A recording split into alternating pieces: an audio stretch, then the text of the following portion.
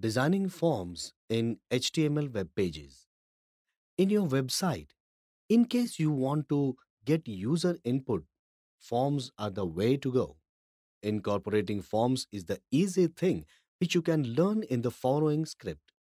Collecting user input is the main aim of creating forms in HTML web pages. What would you generally use to input your information in any form? Most commonly, it would be a text field, submit buttons, radio buttons, reset button, login buttons, and so on. Let us take a look at how should we incorporate all of it in the form that you design in the HTML web page. The input element. How would you input information in the form? These input elements have some attributes such as radio button or submit button or the text input. Here is how we use input elements in the form. HTML body. Heading 2 Input your personal information. Heading 2 closed. Form Name break. Input type is equal to double inverted comma text double inverted comma closed name is equal to double inverted comma first name double inverted comma closed break. Surname break.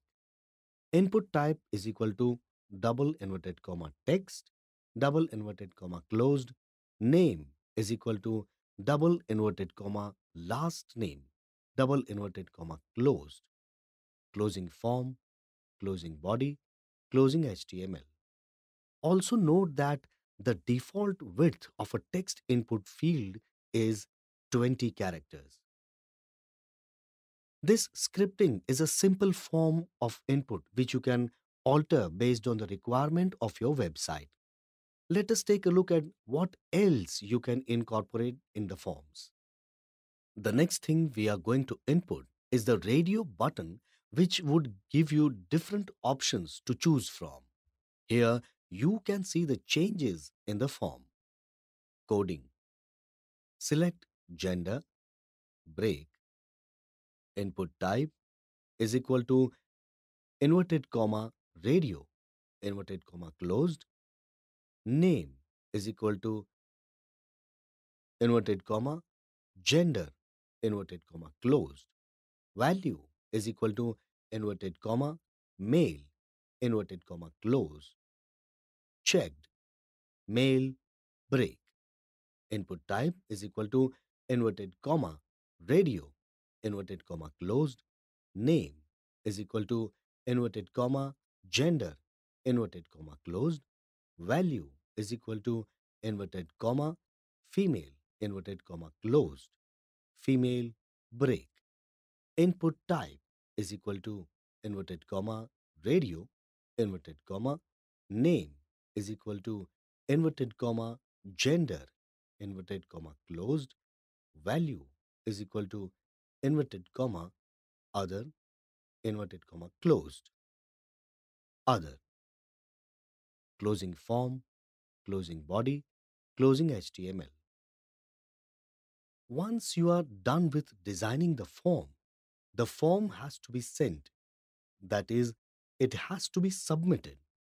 For that we need to incorporate submit button incorporating submit button is half the work Later, you will have to link it to the database so that the data gets updated with every click.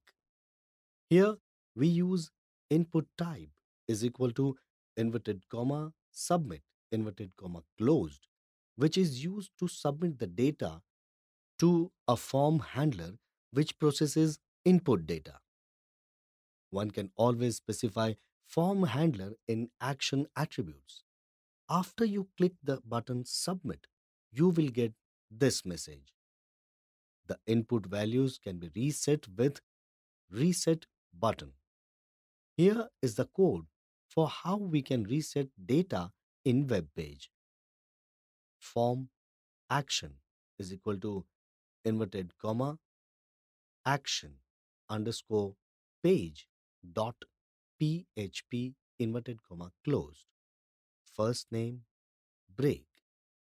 Input type is equal to inverted comma text inverted comma closed. Name is equal to inverted comma first name inverted comma closed. Value is equal to inverted comma vihan inverted comma closed break.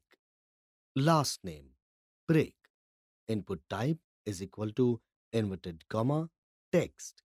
Inverted comma closed. Name is equal to inverted comma last name. Inverted comma closed. Value is equal to inverted comma shah inverted comma closed. Break. Input type is equal to inverted comma submit inverted comma closed value is equal to inverted comma submit inverted comma closed. Input type is equal to inverted comma reset inverted comma closed closing form.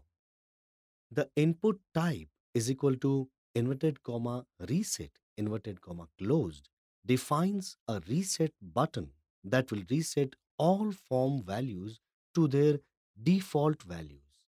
This is how you can design form in the website and also include submit as well as reset button to input and reset the data. Hope you had a good understanding of the above input elements.